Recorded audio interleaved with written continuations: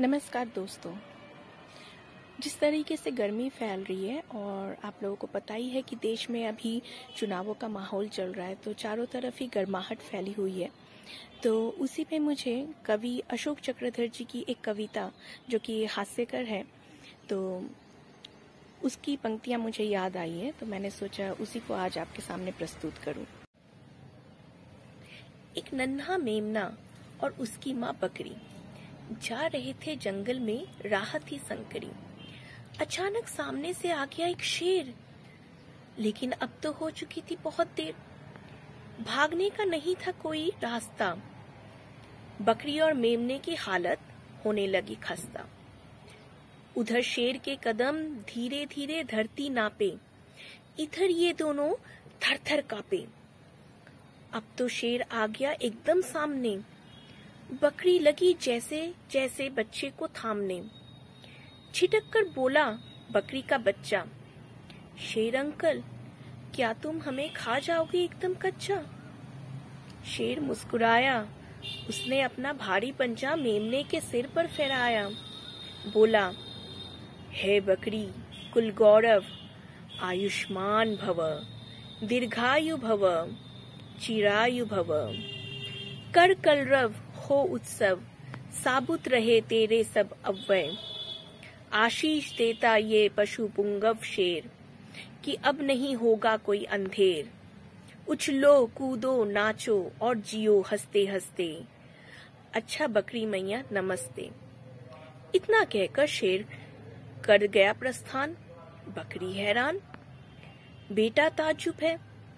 भला ये शेर किसी पर रहम करने वाला है? लगता है जंगल में चुनाव आने वाला है। लगता है जंगल में चुनाव आने वाला है। दूसरे दृश्य में, पानी से निकलकर मगरमच्छ किनारे आया। इशारे से उसने बंदर को बुलाया। बंदर गुर्राया, खो खो, क्यों क्यों? तुम्हारी नज़र में तो मेरा कलेजा है। मगरमच्छ बोला, नहीं नहीं, तुम्हारी भाभी ने खास तुम्हारे लिए सिंघारे का अचार भेजा है। बंदर ने सोचा, ये क्या घोटाला है? लगता है जंगल में चुनाव आने वाला है।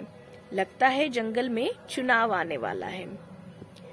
लेकिन प्रकट में बोला, वाह, अचार? वो भी सिंघारे का? यानी तालाब के कबारे का? बड़ी ही दयावान है तुम्हारी मादा। लगता है शेर के खिलाफ चुनाव लड़ने का है इरादा। कैसे जाना कैसे जाना? ऐसे जाना ऐसे जाना। कि आजकल भ्रष्टाचार की नदी में नहाने के बाद जिसकी भी छवि स्वच्छ है, वही तो मगरमच्छ है। शेर ने कुएँ में झाका। वहाँ पहले से बैठा था एक शेर बाका। ऊपर वाले शेर ने दहाड़ लगाई। प्रतिध्वनि नीचे से आई। मत समझना मुझे तुम अपनी परछाई। बहुत देर पहले का आया हूँ। तुम्हारी महत्वाकांक्षाओं का सताया हुआ हूँ। बाहर निकलूँगा, दहाड़ूँगा और एट जाऊँगा।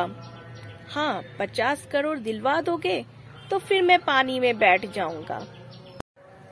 चौथे दृश्य में एक रोटी का बंटवारा कराने आई दो बिल्ली। बंदर ने नहीं उड़ाई उनकी खिल्ली।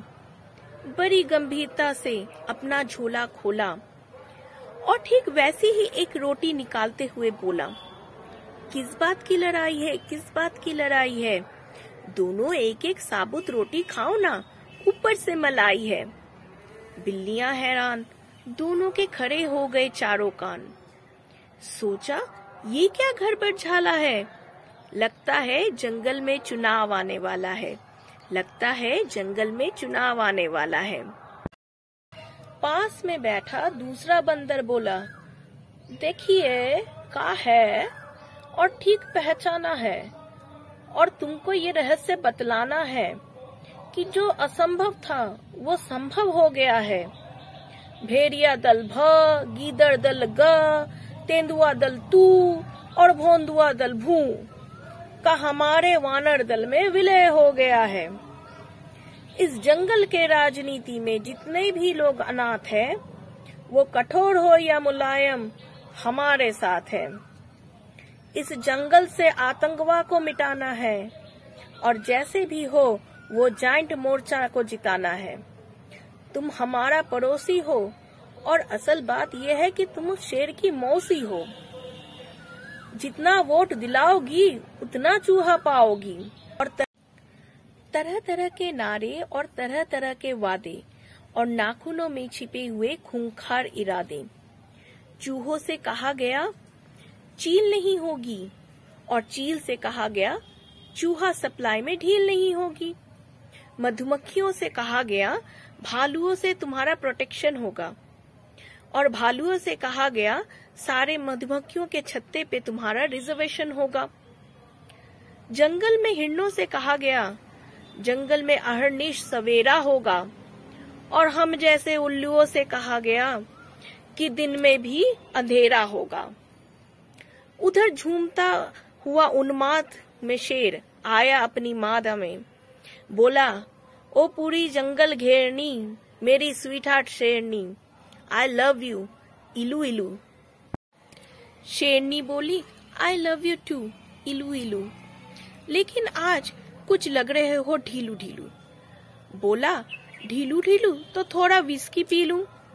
शेरनी बोली विस्की तो ज़रूर पिलाऊँगी और उसमें बर्फ़ भी मिलाऊँगी, पर मुझे भी तो कुछ दिला दो।